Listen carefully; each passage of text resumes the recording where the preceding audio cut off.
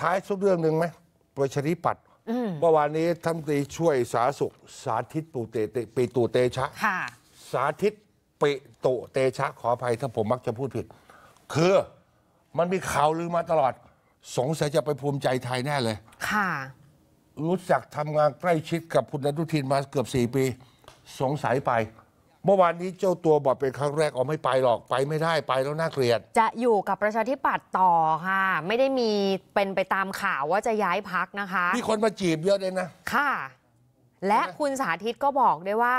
แต่ก็ยอมรับว่าตอนนี้สถานการณ์ของพรรคประชาธิปัตย์เนี่ยไม่ดีเพราะฉะนั้นดังนั้นจำเป็นต้องสร้างศรัทธาให้กลับมา ก็เลยเสนอให้หัวหน้าพักคนปัจจุบันคือคุณจุรินทร์เนี่ยไปพูดคุยกับอดีตนายกอภิสิทธิ์และอดีตหัวหน้าพัก ให้กลับมาช่วยพักหาเสียง คุณสาธิตใช้คำว่าจำเป็นอย่างยิ่งที่หัวหน้าพัก จะต้องไปเชิญท่านพิสิทธิ์ให้กลับมา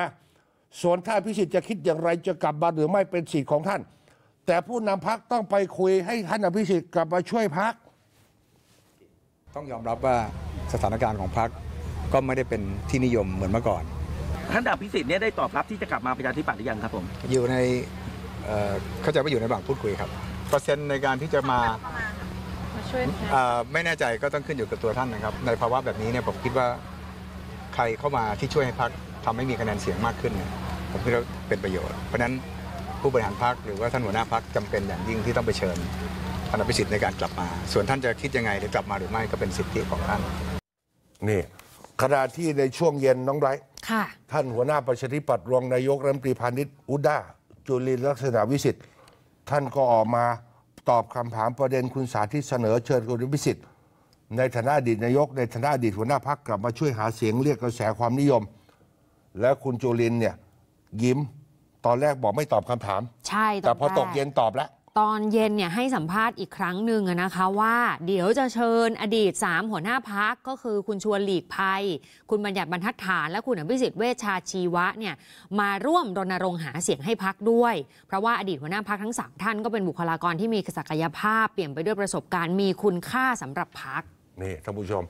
คือพูดกันตรงๆเนี่ยคุณจุรินทร์คือมันชัดกรณีคุณชวนกับคุณบัญญัติท่านอยู่อยู่แล้ว ค่ะ คือมันก็เหมือนกับสงวนท่าทีไหม